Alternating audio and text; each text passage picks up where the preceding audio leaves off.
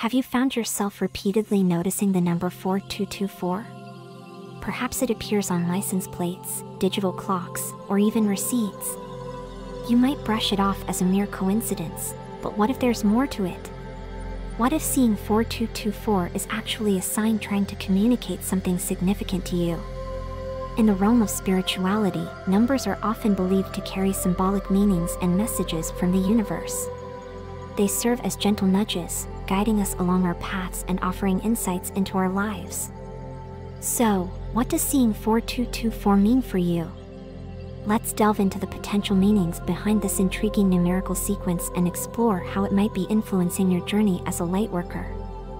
4224 is a combination of the numbers 4 and 2, repeated twice.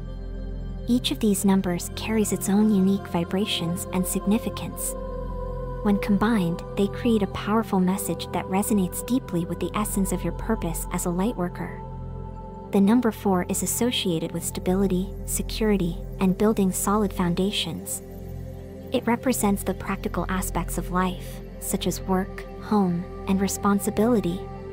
Seeing the number May 4th indicate that you are being called to focus on creating stability in your spiritual journey and grounding your light work in the physical realm. Meanwhile, the number 2 symbolizes harmony, balance, and partnership. It embodies the principles of duality and unity, reminding us of the interconnectedness of all things. When you encounter the number 2, it may be a sign that you are being encouraged to seek harmony within yourself and your relationships as you continue your work as a lightworker. Together, the repeated sequence of 4224 amplifies these messages, emphasizing the importance of finding balance and stability in your spiritual practice while also fostering harmonious connections with others. But the significance of seeing 4224 doesn't stop there. When we add up the individual digits that is, 4 plus 2 plus 2 plus 4, we arrive at the number 12, which reduces further to the number 3 when we add 1 and 2. The number 3 is associated with creativity, expression, and manifestation. It represents the fertile ground from which your dreams and visions can take root and flourish. So, when you see 4224, it may be a reminder to tap into your innate creativity and express your lightwork in new and innovative ways. It's a call to embrace your unique gifts and talents and share them with the world, knowing that your contributions are essential to the collective awakening of humanity.